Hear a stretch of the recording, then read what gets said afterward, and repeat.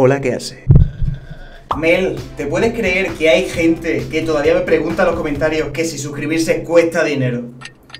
Pues muy fácil. Que se suscriban a mi canal para comprobar que no. Familia, Kid Football se ha vuelto loco. Y no lo digo por estas pepinos de camiseta ya de la temporada 2020-2021, que también, sino porque han hecho un descuentazo del 15% con el código ZABA. Si ya eran precios de escándalo, ya no sé qué más va a ser. Eh, además, esta promoción dura solo 7 días. Así que os animo, si estabais pensando ya en pillar camiseta, ahora es el momento de verdad con vuestros amigos para que os descuenten todavía aún más y os hagan más baratos los gastos de envío. Y de hecho, una de las promociones que también traigo hoy es que si superáis los 79 euros, el envío es gratuito y si superáis los 139 euros, eh, el envío es gratuito pero con entrega de HL rápida de 7 a 13 días laborables, ¿vale? Así que bueno, pues eh, de lujo, eh, lo de euros, dólares siempre me lo preguntáis, oye, ¿y yo qué pago en pesos mexicanos hay problema? No hay ningún tipo de problema, ¿vale? Se convierte automáticamente y tenéis el link a www.kitfootball.com en la primera línea de descripción, ¿vale? En este caso, pues vamos a elegir, por ejemplo, la de México Retro del 86. O sea, esta camiseta la llevó Hugo Sánchez, una maravilla, una auténtica reliquia. Y ya sabéis, con el código ZABA, 15% de descuento. Esto sí, solo por, por 7 días. Así que daros prisa en pedir, familia. Y ya sabéis, elegid dirección, método de envío, método de pago. Y ya está. Así que venga, código ZABA, 15%, que no se olvide. Y kidfootball.com, la mejor página de camisetas. Bienvenidos a un nuevo Reaccionando. Bienvenidos al grito de Mel. Tengo mucho calor. Que alguien me abanique.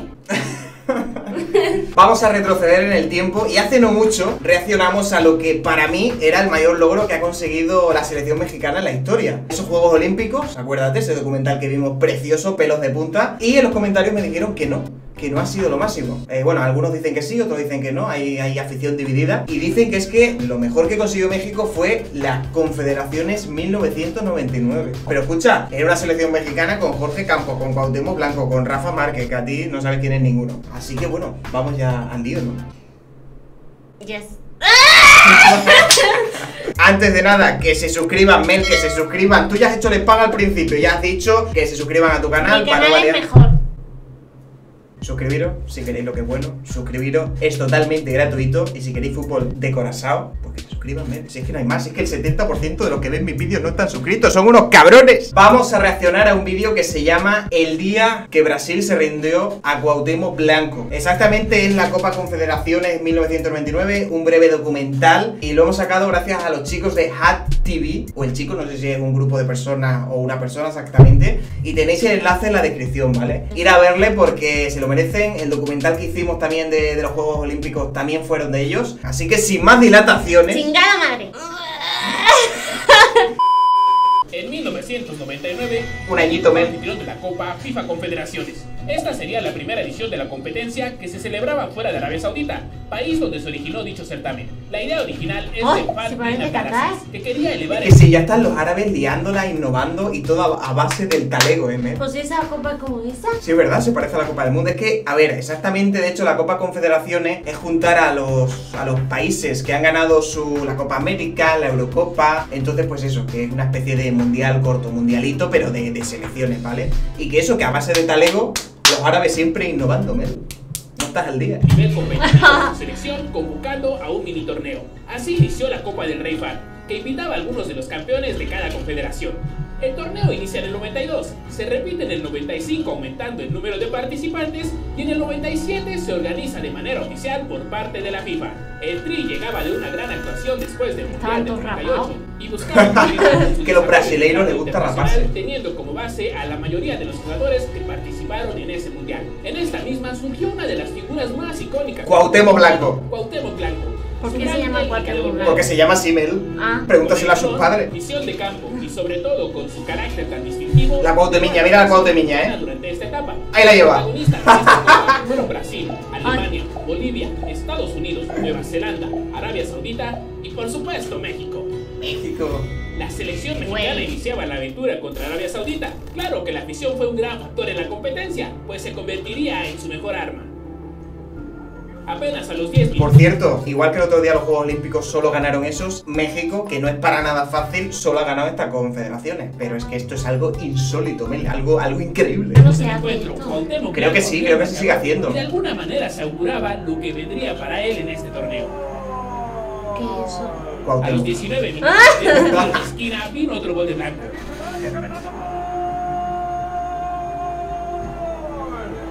Pero entonces que te- que el vídeo es de Cuauhtémoc Blanco de México. A ver, el Ah. vídeo se llama Cuando Brasil se rindió a Cuauhtémoc Blanco. Imagino que hizo un gran torneo, pero el vídeo se basa el documental, eh, uy, qué gallo me ha salido, en cuando México ganó en las confederaciones. Y al 21, José Manuel Abundis encendía la fiesta en la tribuna. ¡Qué golazo, eh! ¡Qué zurdazo se ha sacado por las cuadras, chaval! Después vino el descuento por parte de Arabia. Saudita. ¡Oh! ¡Uy, cómo uy, qué piscinazo ha dado, eh! Ahí van los árabes. Uh. Mira, Jorgito Campos de portero, eh, men. Y estaba Rafa Márquez también y todo. Le daba la ventaja con autoridad a la escuadra nacional. Y para firmar el poco de goles de Blanco, cerca del manchón penal, un gol más. Ah, Oh. Después de lo hecho, se pensó que el partido Ya, contra. Egipto sería un trámite. La predicción fue cierta hasta el minuto 0-0. Pavel Pardo, con la especialidad de la casa, mandaba un riflazo adentro de ¡Qué la golazo, qué riflazo, men! 10 minutos más tarde, un tiro de esquina, un gol más, que lograba conectar a Bundis. Puro trámite de México, ¿eh? O sea, iba sobrado. Es que el equipazo que tenía México posiblemente, men, era el mejor México de la historia. O sea, ponedme en los comentarios cuál ha sido para vosotros, qué año, qué etapa ha sido el mejor México. Yo creo que esta, ¿eh? Porque Rafa Márquez, men, que posiblemente el mejor mexicano. Jorge Campos, el mejor portero de la historia de México. Cuauhtémoc Blanco, que es uno de los mejores. Porque y- son todos blancos. Se apellidan todos blancos. Jorge Campos, no Blanco. 10 minutos más tarde, un tiro de esquina, un gol más, que lograba conectar a Bundis.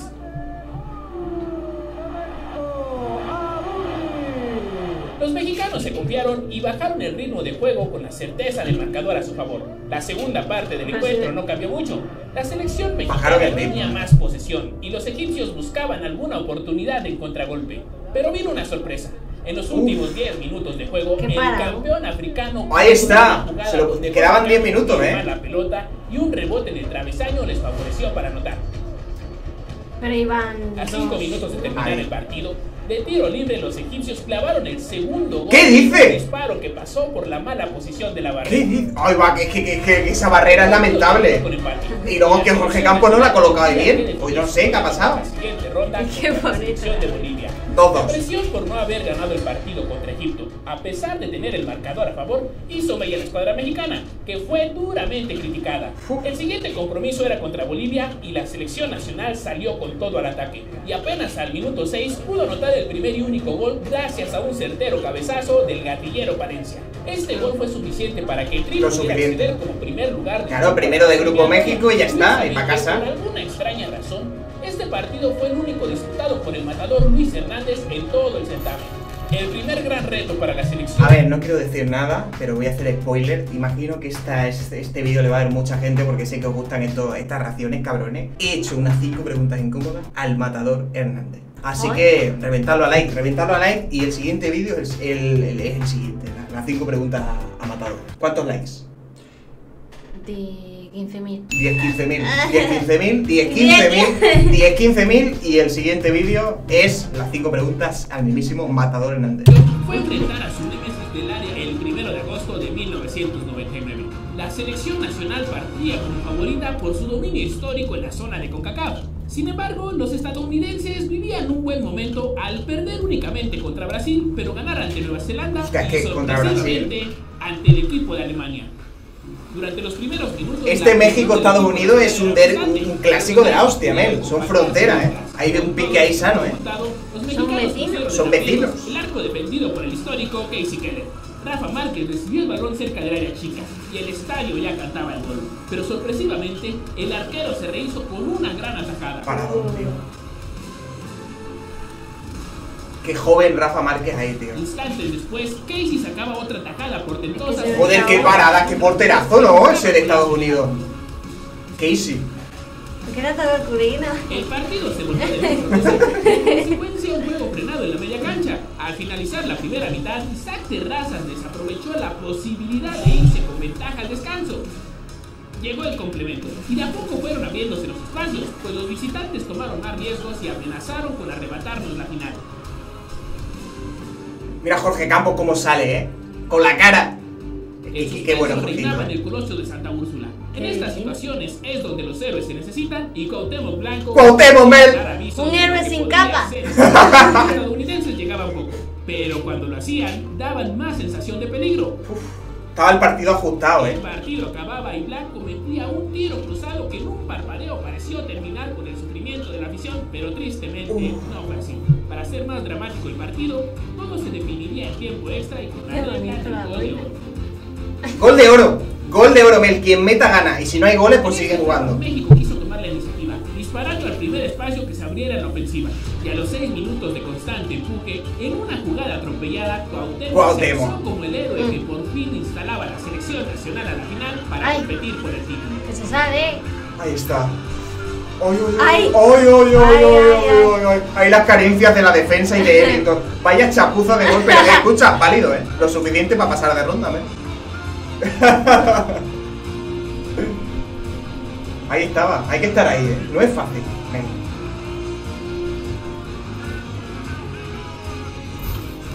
Su rival sería Brasil, que llegó con un cuadro alterno. Final de la Confederaciones, Las Gallo. Carlos, Qué gallo me están saliendo hoy, el fenómeno Ronaldo. Los mexicanos tenían el papel de víctimas, pues en la fase de grupos Brasil se vio como un equipo dominante y en la semifinal no tuvo piedad contra Arabia Saudita. Ya es la final. ¿Ya es la final? goles. La figura brasileña era un joven de Uf, gran talento. ¿empezó ganando qué? Ronaldo de No. Cid Moreira. Tal vez te suene más. Escucha, que está Ronaldinho, Mel. Está Ronaldinho Gaucho. Noche Empezó a rodar el balón y pronto se dieron los primeros avisos de ambas escuadras, así como las primeras muestras de lo aguerrido que sería el partido. La selección nacional no se dejó intimidar por la potencia que tenía enfrente y dejó fluir su fútbol. Tratan de hacer jugar que pase, tío. Allá va Ramón, Ramón dentro del área.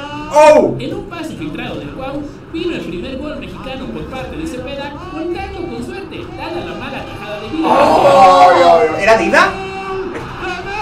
¿He escuchado Dida? Dida es un porterazo, ¿eh?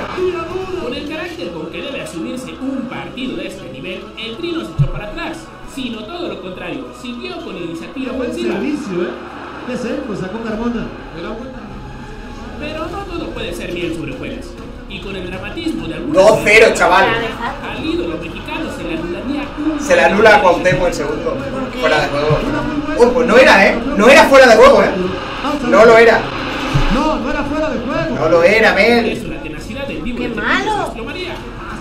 Mírale, mírale, no le rinde. Le roban y sigue. Escucha, qué pedazo de torneo de Cuauhtémoc, ¿eh? A ver, mírale, pero mírale, ¿eh? Es, te lo juro, tengo los pelos de punta. Es increíble. Falta. Pues también tendría que ser de- A Brasil, Mel, en una final. La recompensa del esfuerzo no tardaría en llegar. Qué pase filtrado. Mírale, mírale, mira qué cosa. Escucha, México tiene de, de, de hijo a Brasil en las finales. En las finales es que se, se ¿De come. hijo? Sí, se dice así, Mel. Se Ah. dice así. Con un poco más de seguridad en el seleccionado nacional, aunado al orgullo brasileño de verse abajo en el marcador, la verde amarela se volcó al frente. Quien también sintió la presión brasileña, además del Brody, fue el propio árbitro, quien marcó un penal inexistente a favor de los A visitantes. Ronaldinho. Otro, otro penal que no era. Otro no era penal. Madre mía. Aquí está Campos. Ay, Jorge Campos, si hubiese sido un poquito más alto, mamón. Emociones para la segunda mitad, pues lo que restaría del encuentro tendría a todos los espectadores. 2-2, chaval, 2-2, En Mel. una descolgada Ala. de Ronaldinho por la banda Reto. derecha, No, dos, un pase milimétrico Ok. para que simplemente la dos. empujara. Pero Le un pase de Ronaldinho que la flipa, remontada brasileña, la selección nacional tuvo el temple para realizar lo que mejor hizo en el primer tiempo, que es tomar la iniciativa. Y que con Cuauhtémoc de nuevo. determinante fue Cuauhtémoc, que en la- Es que es buenísimo Cuauhtémoc en este torneo, es el torneo de su vida. Y con un poco de suerte en los rebotes, se tanta. colocar arriba de la Mira, mira, mira Matador Hernández, qué cosoto. Es verdad. Y claro, Brasil no se iba a quedar con las manos cruzadas, pero apareció la inconmensurable figura de Jorge Campos. Ganándose la Ronnie. Jorgito, ¿eh? La Ya le tocaba ganar algo a Jorge, tío. México es el desconcierto al que había orillado a la potencia mundial, y esto sería aprovechado por los nacionales en una jugada inolvidable. Donde el vivo de Tepito conseguiría su figura con la camiseta nacional volviendo loca a la afición. Mírale, mira Cuauhtémoc, mírale que vaya recorte. ¡Oh, ¡Qué monazo! ¡Qué monazo, tío! ¿Lo has visto cómo le ha quedado roto? ¡Le ha quedado roto! ¡Le ha quedado rotísimo! ¡Qué bueno es Cuauhtémoc, te lo juro, eh! Mírale, mírale. Es buenísimo, o sea, ahora entiendo, yo ya le incluyo en mi top 5 histórico de largo, saco a Tecatito y meto a Cuauhtémoc, tío, me falta ver este tipo de cosas. 4-3. Tecatito es muy bueno, pero es que meto a Cuauhtémoc, pero de largo. Joder. vuelta que ¡Qué buenísimo! las peligrosas en las dos porterías. Terrazas y Cepeda, Cuauhtémoc en el individual, Cuauhtémoc se lo dejó a Terrazas. Si es que no ha metido más goles porque no ha querido, ¿eh? Cuauhtémoc, Al final Brasil había entrado en desesperación. Te mueres. La expulsión de Joao Me muero. Carlos al propinarle una patada al tema. La México campeón, Bel. Ya. No, ah, está casi, está acabado esto.